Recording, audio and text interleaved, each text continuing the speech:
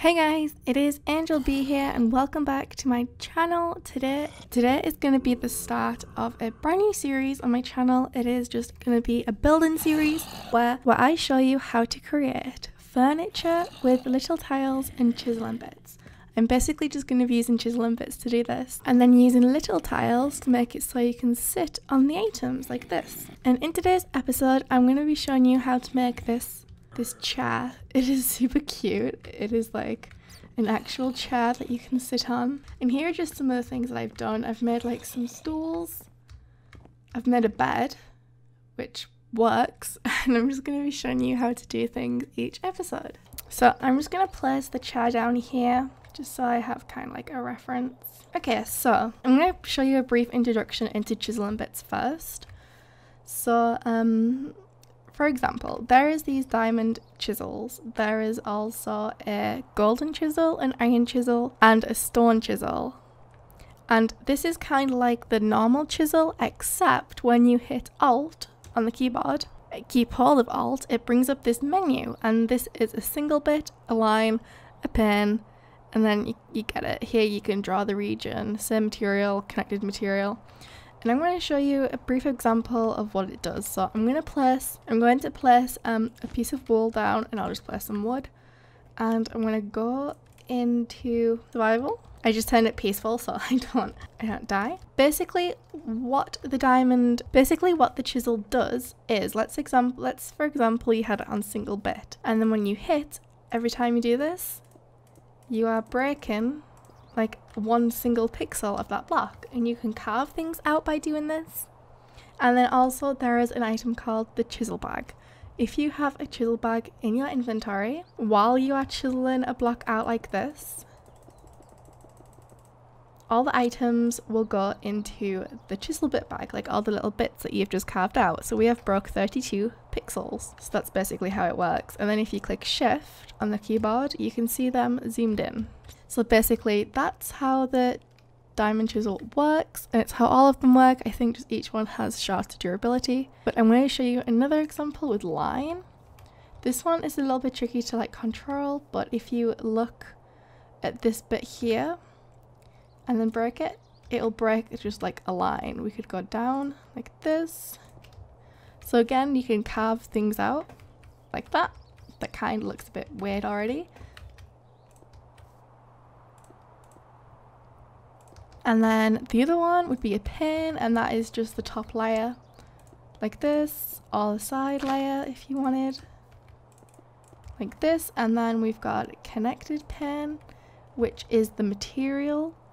And then you've got the drawn region. This is where you can hold the left button down and drag and it will draw a region. Then you let go and it will break the region. And then you've got like the cubes here. This is just like cubes like this and then you've got the grid that sticks to a grid structure. And if you make a mistake here, like I have done, I've gone into the dirt, just click undo and yeah, you just hold alt down and then you can click either of these, but you have to keep holding alt.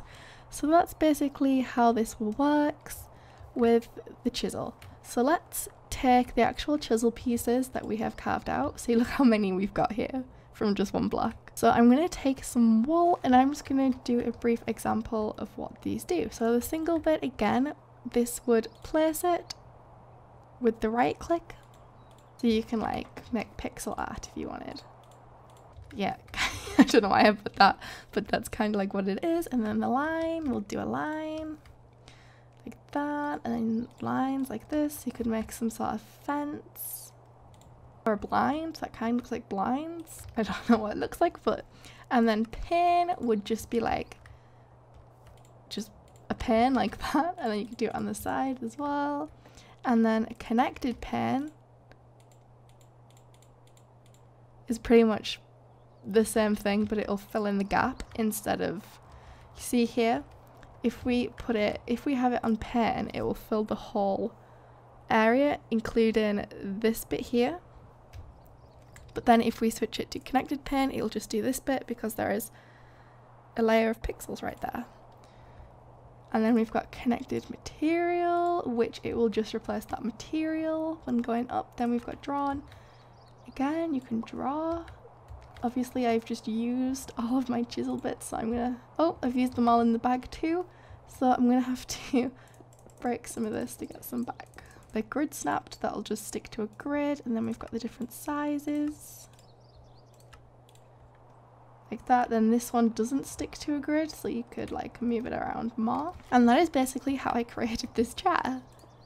I'll go through the chair. That's pretty much the basics of this mod. Everything else in this mod like these is where you can like copy chisel designs and things like that. This is where you can rotate.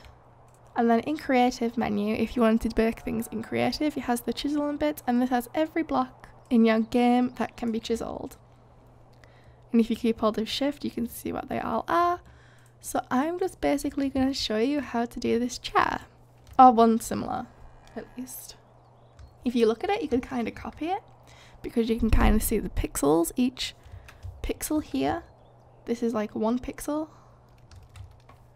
So basically, it was pretty difficult to do this, but the way I did it is I had a stone back like this, and I did it against. I did the back bit first, like against this, and then I just brought it forward. So I'm going to be doing, I guess, like a speed of this. I'll, I'll kind of go through it. It's not going to be the exact same because it's very detailed. Also, there is another feature. This here, place, where it says place or replace, if you wanted to place a block like this, that's going to place it like on top of the block you are working on. But if you use the replace, this will replace this will replace the block like this so you can like draw into the wall. So that's pretty good. And then if you're in creative as well you can middle mouse button it and you can create like and then you have permanently got that thing. But if you're in survival you can just use these which I'll probably go over them in another time because they're I don't use them at all so so yeah so you want to figure out the middle of the chair if you want it to be like two seater, three seater. I guess this could be classed as two, but it sits me in the middle. And then like a single seater would be like half the size of this. So I'm just going to do the double again. So the first thing I'm going to start off with is the heart, but this time I'm going to make it a bit more odd. So it's like an actual, so it's like an actual heart. So you want to find the very middle well, it doesn't have to be the middle exactly, but just you want to find the middle. Okay, that should be good. And then you want to, I'm to do, you don't have to do this, but I just decided to put the heart in.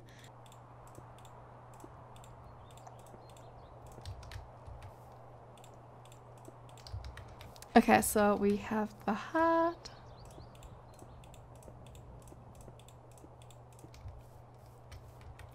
And then we want to go downwards to make the back part of the chair. So I have done it two and then one and then two. Like around here. So I'm gonna do it goes out two down one and then out another two.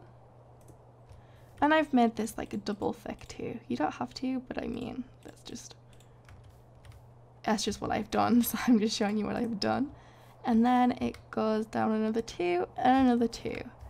So it goes down two and then another two. I'm just going to do the one layer for now just so it doesn't look confusing. Like this and then you obviously want to repeat the same on the other side as you're doing it so you don't get confused.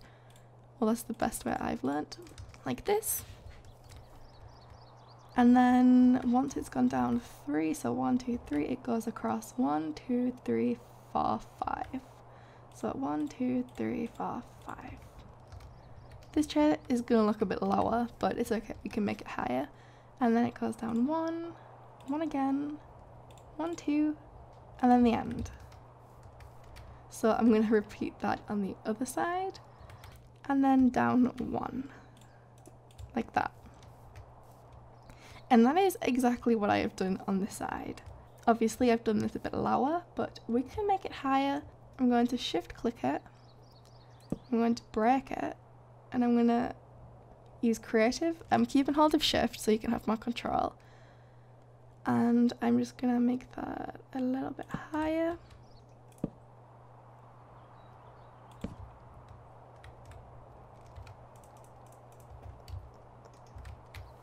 So the way I am doing this is holding shift and I'm in creative. So I'm going to middle click mouse button what I've done and then break what I've done and then just bring it up by keeping hold of shift like that.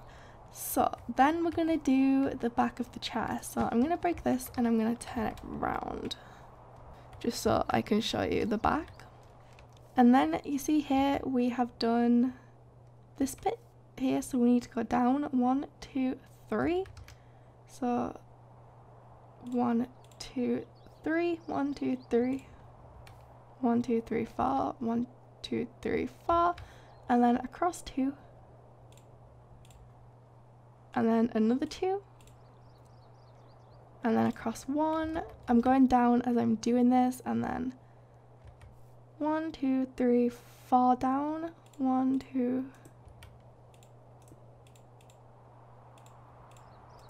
fall like that and then I'm going to break this just so I can get down so it's easier.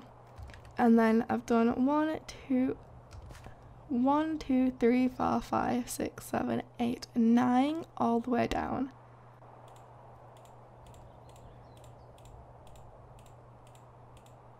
Like that. That may look really different at the moment but I promise it's not. That actually is how it is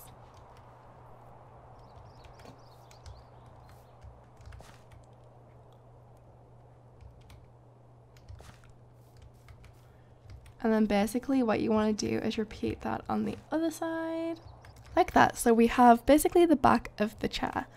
And then and this be these pieces are going to be like these bits as well like the I don't know what they're called the stumps of the chair. And then we're gonna go across one two. Like so it's like this across one and then up two and then like up one and then all the way across to the other side.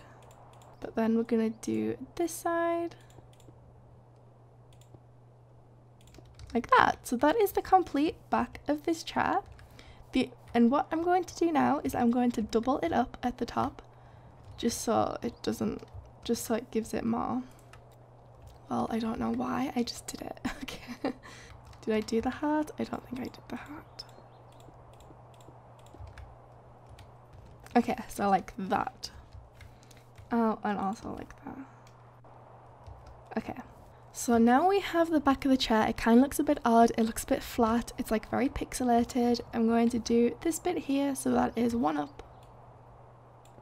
So that's going to look like that.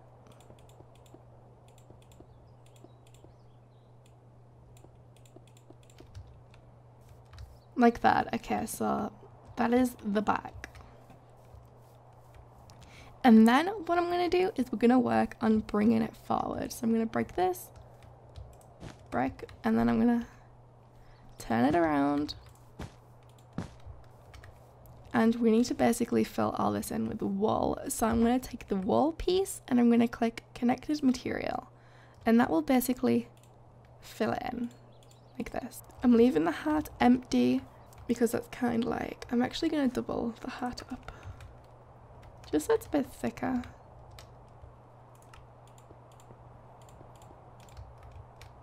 Like that. You don't have to, that's just what I'm doing. And then this is where it can get a bit tricky because you are actually like building the chair itself. So we're going to work on the side arms. So the way I've done this, well you can kind of get a bit creative with this actually. You don't really need to follow what I'm doing but you want to bring it out so it's um, a block. So we're gonna not go any further than this. This is just so you can place things next to it and things. So I'm gonna put a little wall in front of that just so we know not to go any further. And then I'm going to draw a region from there. Oh gosh, I need to take my shader off. Okay, hopefully you can see with this. I'm going to draw the region from this one here to the wall, making sure it's one bit. And that is all we need. We don't need the wall anymore. Just that's as far as we're going to be doing it. You don't actually have to have it that far, but we don't want it like any bigger. So then I'm gonna build up the arm. So the way I have done it is one, two, three, four, like a four long box, like just like this. I'll like pause here for a sec. Just so you can kind of see what I'm doing. And then we're gonna do this top bit here. So that's one, two, three. But obviously this chair is a lot smaller. Okay, one, two, three. Draw on a region. I'm gonna bring it up like this.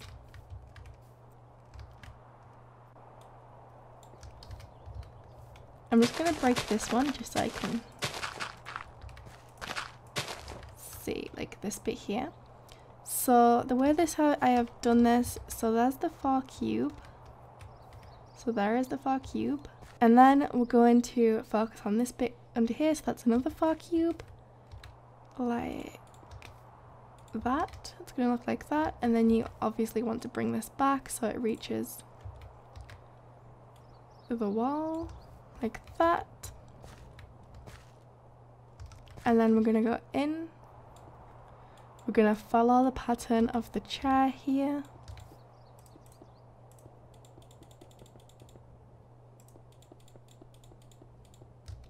Like this. You can't obviously see this because we've got this here. I can actually get rid of that just so I can show you how it actually looks without it.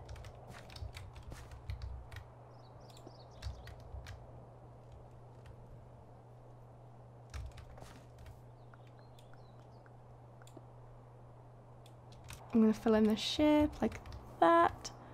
And that is basically the arm. We just got to bring it down. So we got to bring it down three across, two, and then one. So that is starting from here. So we got to bring it three across, like three, and then one down. Like that. So that is going to be one side of the armchair. And then here, it drops down. Two and then three. So I'm actually going to move this one across like that and then do this one. And then what we want to do is create the seat. So that is going to be all the way across to this side. And this is when you can use connected material once you have done like basic line because then every time you click it'll just bring out the section instead of the whole chair like this. So that is the actual like seating part of the chair. And then what you want to do is you want to copy the same pattern that we've got here. I'll just kind of show you so you can take a pause it or whatever. So then we've got to repeat it on this side. So it can be a bit difficult. So it's like this. Okay, like this. So I've pretty much finished this side. I'm just kind of like doing this bit now. Like that. And then what we're going to do is we got to fill it in we gotta fill this section in. So I'm just gonna use connected material and that should like just basically fill it in like that. And then what we want to do is we want to do the base of the chair. So that's basically the bottom section. Oh, so for this I've gone down one, two, three, four. So I'm gonna go down one, two, three, four, like that. Oh, I need to be one lower. And then I'm going to do the same on this side. So like one, two, three, four, one, two, three, four, one, two, three, four. Like that. And then I have gone down one, two, and then all the way across. So one, two,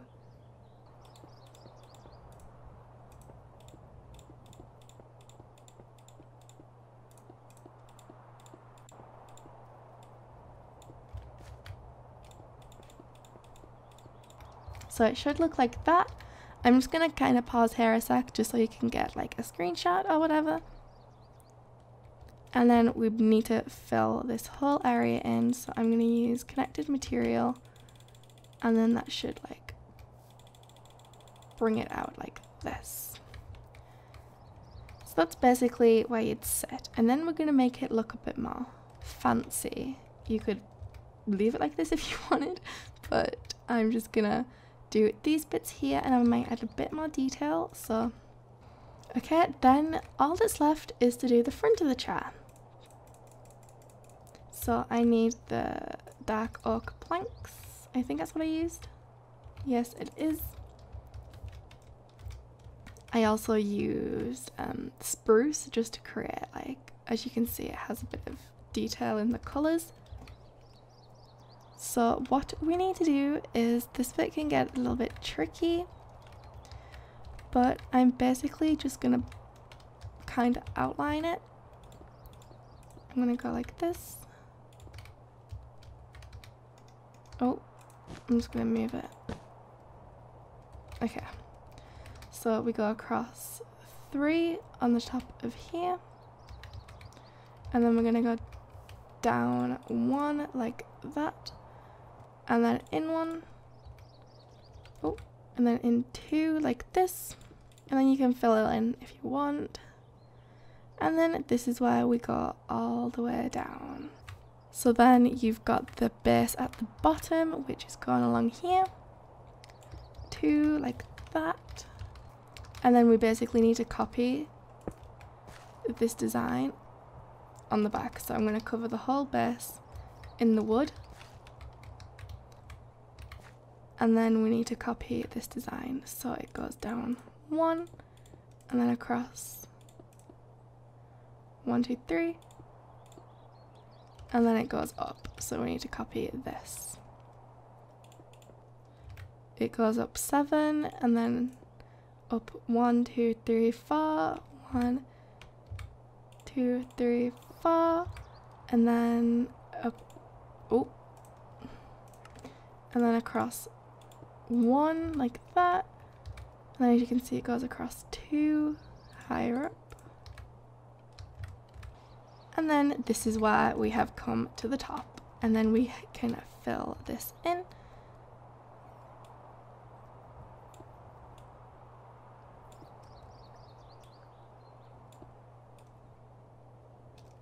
I'm to finish this top bit off like this. It's going to look a bit different to the one that I originally did because I kind of went with a different style. And then you can kind of just, just like customize it till you get it how you want it to look.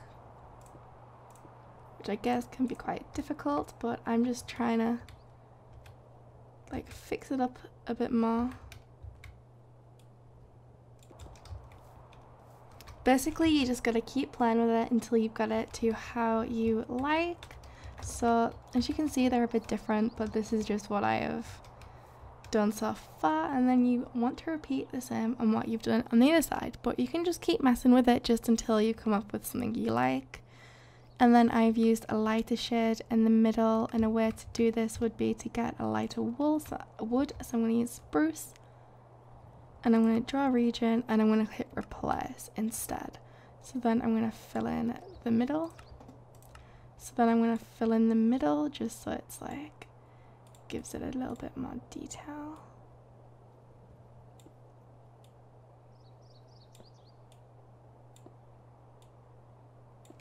Kind of like that. So okay, I'm just going to show you the example on this chair because like once you've re basically repeated this side on this side, you can just do that by eyeballing it. You then, this is where I use, this is where I use little tiles. So we want to go into little tiles. And what we'll need for this is a little recipe and the little wrench. I'm not really going to go in too much depth into little tiles. I know my friend Runa has done that, so you can go and check her little tiles tutorial out. I think she's going to be doing another one soon. I'll link the video below. She kind of goes into depth with what the things do. So what you want to do is you want to make sure you are selecting the areas. So I'm gonna place a block behind it like this because we want to get the max height. So if we right click on this grass block, that will basically select everything that's that height in, in between the area. So if we select this, this is now selected everything in that whole area that are little tiles and then we want to right click the recipe and select these things you can do. You can do like storage, a door, chair, fixed.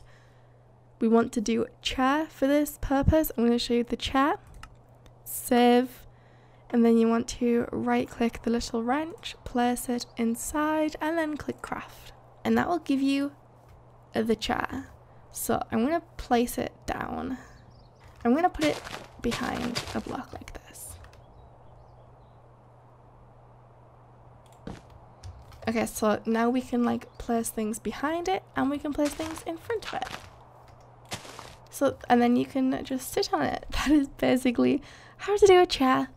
I'm going to leave a PNG, well, an image of like screenshots of this chair just so you can like have a template to follow the pixels on. Because it's basically just pixel art, but 3D pixel art. There are so many possibilities you can do, and this is how I have started this series off. So I know that was a bit confusing, but I was trying to explain it as best as I could. So I hope you guys have enjoyed this. Please leave a like if you would like to see more of this series and don't forget to subscribe to get latest to get my latest videos and I'll see you guys in the next one. Goodbye!